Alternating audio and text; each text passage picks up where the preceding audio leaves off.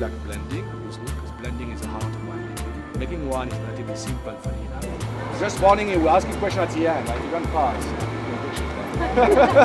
but take that. okay?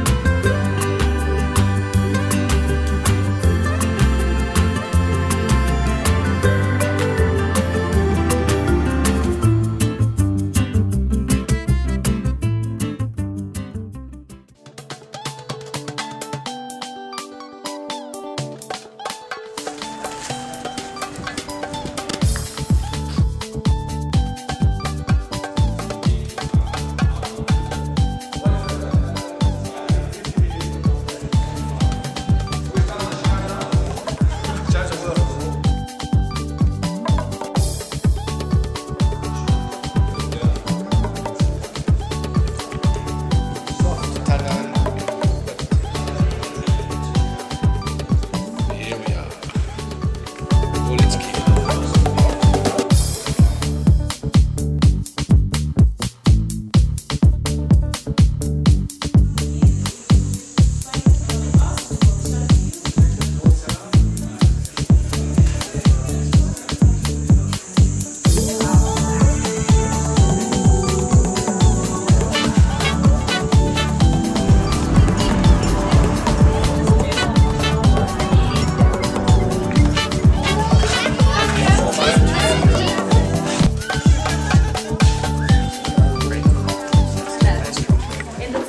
Children are walking easily from the ground.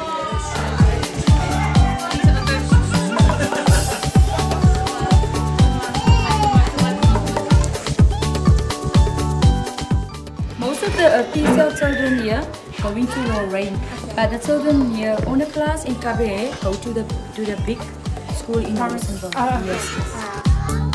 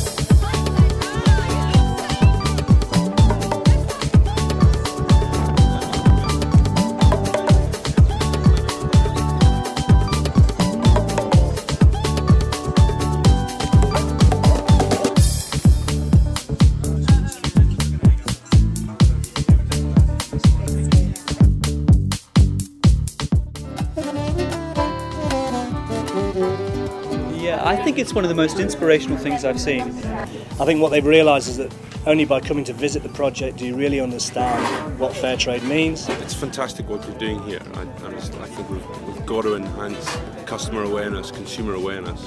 It is it's a great opportunity for me. What's so nice is you're running a great business, but you're doing so much good as well. The program helped me a lot uh, with the studies. It's great quality wine, and, and there's no point having fair trade on a label when the wine isn't good.